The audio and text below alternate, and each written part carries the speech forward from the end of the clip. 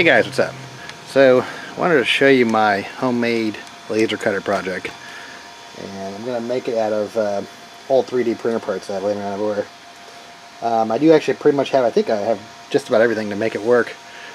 Um, got 22 on rails and it's going to be the base of it. Then I have a bunch of linear rods. And that's actually the preferred method I uh, want to make it out of, linear rods. I've seen a couple designs based on this uh, little wheel design, but to me that's just too inaccurate. I mean, I had the same thing with the 3D printers. I mean, this there's just too much slop in these wheels. So I'm going to go with the linear rod design. So extra 20, 20 piece rails. Um, I have the igus bearings, but I also have ball bearings too. So I'll see which one works better. Uh, power supplies. I have a 20 amp and a 30 ampere. So I might, I'm not sure if I'm going to use one of these external or internal power supplies or like an external, like a AC adapter. Uh, because I need, need 12 volts here. And Alright, so what else going on here? So, alright, so the controller board. Uh, they are pretty cheap if you want to buy one. Uh, I'm not sure what the product's called. It's called, it can also, it can run a Marlin, but then it can also run a product I think called Gerbil or GRBL. I'm not sure that's even the acronym for it. But uh, this is an old printer board that I had, my original printer bought. Um, has the built-in the stepper drivers, but probably not going to use that because it's super hard to flash this thing. Um, and also have my ANET, original ANET board. Also with the, I think the Allegro drivers, built-in Allegro drivers. Um, really loud. And probably not going to use that, but I do actually have an extra MKS Gen L board. And also extra Trinamic. Like when I upgraded to my uh, TMC 2209, it gave me a bunch of extra 22.8 drivers. Trinamics, I'll probably end up using those because I have them. And this is a MKS Gen L. This is an 8-bit board, so I mean I would prefer to do this in 32-bit, but like I said, the boards are so cheap, it's not even a big deal to get like a one specifically for 3D printing, or excuse me, laser cutting. So so that is the boards.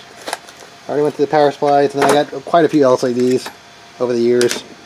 MKS TFT32. I have a MKS TFT35, but I keep that on that extra printer. Um, so I might do this or the 2004 display. Um, what else? Steppers. I have a bunch of extra steppers laying around. So I should have enough steppers to make it work. So linear rods. Um, I'm also printing out all the stuff right now for a pretty cool setup here. But um, that's going to be uh, probably like another 10 hours to finish.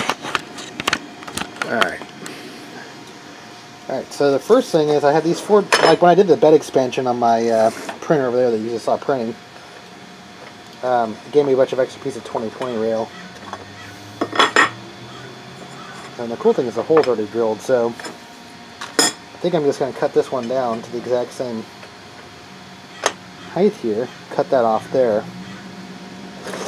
And gonna make it square. So I've already bought the, uh, these are M6 uh, screws. And I actually have a M6 tap. I'm going to tap that in there. And I'm going to screw them like that, make it square. Then I also have uh, extra supports, corner supports too I can use. Um, Alright, so that'd be the first thing. I gotta cut this down to the exact same height and then I'm gonna put them together. At least get the base started.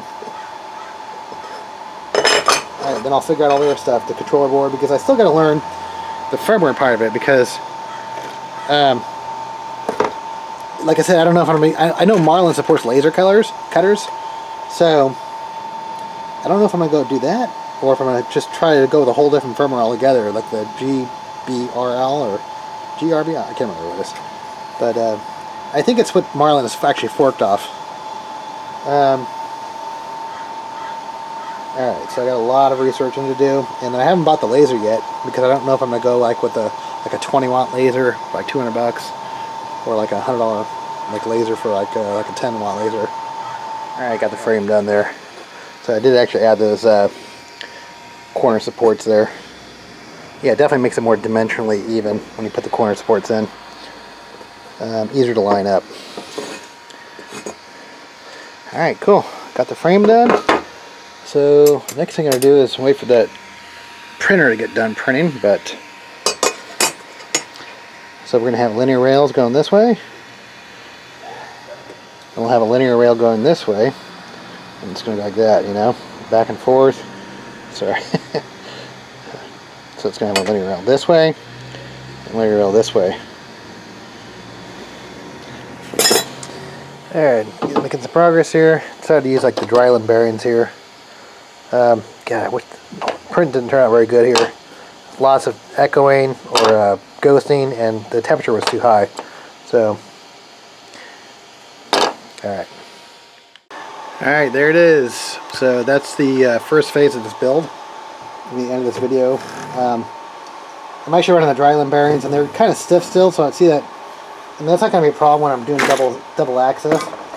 But right now it's kind of giving me a little bit of vibration there, but that's going to go away once these get worked in. And also, like I said, I'm going to be driving them from both sides not just from the center here now. Plus it's not all tightened down yet, but alright, so next phase is to figure out, I'm going to do the uh, steppers. Gotta get the steppers in there. And then I'm going to use this. Like I said, the whole idea of this build was to use my existing stuff that I had. And so far I've actually wanted to buy screws and stuff, a couple extra screws and nuts, but so far all this stuff I already had. So, not a lot of travel. You know, maybe six, eight inches of travel. More on this side. Yeah, actually, by the way, I actually like, uh, if I'm actually going to have more travel, I usually like it on the X. You know, I have better quality with the X going back and forth this way than moving this whole gantry back and forth. So the more printing I can go this way, the X, I usually have better quality prints. At least, that's just me though, so... Alright, so got to figure out the board. Still trying to figure out Gerbil. Um, like, it seems like they only support the Arduino, Arduino board, so I don't know if Marlin, I think it's, I read some forums that Marlin might support, you know, laser cutting. I think it does. With some mods, you know, you're basically just using fan control and stuff, you know, um, but, alright, I'll get to that next, but I already did a little research, so, alright, have a new year, 2019.